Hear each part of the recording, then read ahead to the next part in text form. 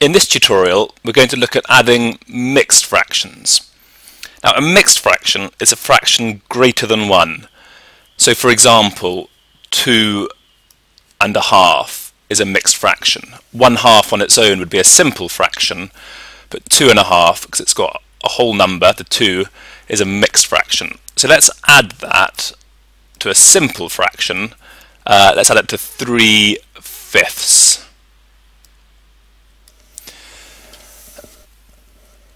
Now when we're adding just simple fractions, we just look at the fraction part, because we don't have the whole number there. But here we've got the 2 as well, and actually the technique is very similar to when you're adding simple fractions. What you need to do is to begin with just ignore the 2, the two whole numbers over here, and simply add the simple fractions together. So let's add 1 half plus 3 fifths and we'll come back and pick up our 2, our whole number over here once we've done this part of the calculation. So to add 1 half and 3 fifths, as you may have seen in the other video, adding simple fractions, we need to make our denominators the same. The denominators, the numbers on the bottom, the 2 and the 5. And to do that, in this calculation, we have to find the lowest common multiple of 2 and 5. Now the lowest common multiple and you can see this in a different video if you're not sure how to find the lowest common multiple.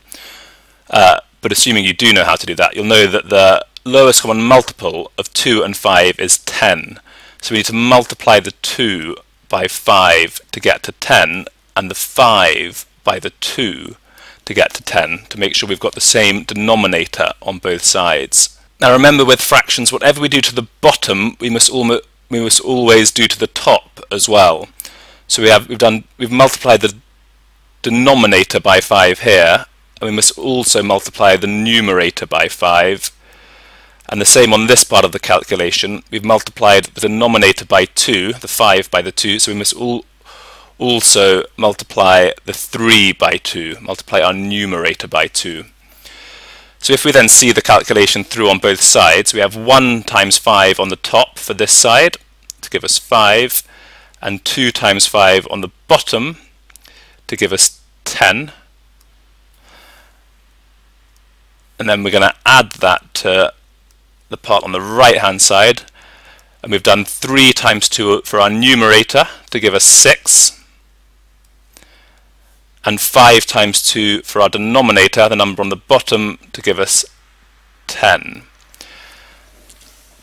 And then we can complete this part of the calculation by adding the top part, the 6 plus the 5 to give us 11 on top. And remember, we always keep the denominator the same, so we have 11 tenths. So we have 11 tenths, which we now need to convert from a top-heavy fraction into a mixed fraction. So that becomes 1 and 1 tenth and now we must remember now to go back to the beginning of our calculation. and Remember the two we had to begin with.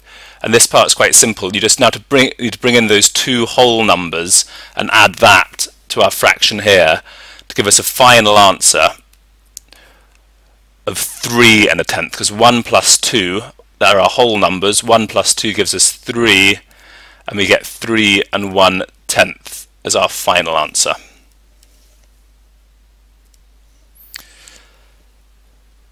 So let's take a look at one more example of adding mixed fractions. And in this one, let's take 2 and 1 third, add 3 and 5 sixths. So again, to begin with, let's ignore our whole numbers. Let's ignore the 2 over here in our 2 and a third and our 3 and 3 and 5 sixths. And let's just get adding the fractions out the way first. So let's take 1 third and then let's add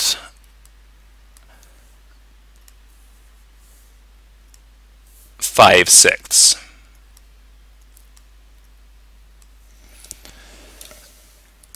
So as usual, we need to make the denominators of both sides the same, and that involves multiplying the 3 by 2.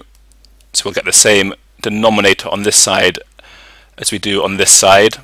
And remember, we must, we must always time do the same to the top and the bottom with fractions. We almost do the same to our numerator and our denominator. So we've times our denominator by 2.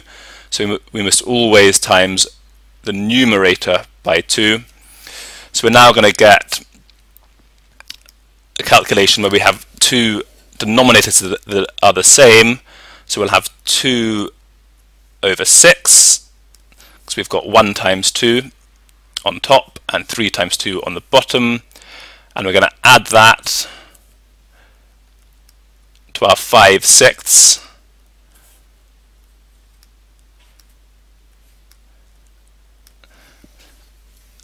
And so we'll have 2 sixths plus 5 sixths, and 2 plus the 5 on the top gives us 7, and we keep our denominator the same, so our 6 underneath, so we've got 7 sixths. Now we know that that equals, as a mixed fraction, 1 and 1 sixth. So we haven't quite got to the final answer yet. We're nearly there. We've got our fractions added, our 1 third plus our 5 sixths to give us 1 and 1 sixth. But now we must remember to add our 2 back in here and our 3 back in from here. So 2 plus 3 gives us 5, doesn't it? The 2 plus 3 from our original calculation gives us 5 and we need to add that back in to the 1 and 1 sixth that we've got here. So we'll then have 5 plus 1 to give us 6 whole numbers, 6 whole numbers, and the fraction stays the same, so we have 6, 6 and 1 sixths. Rather the sixths, but that's our final answer, 6 and 1 sixth.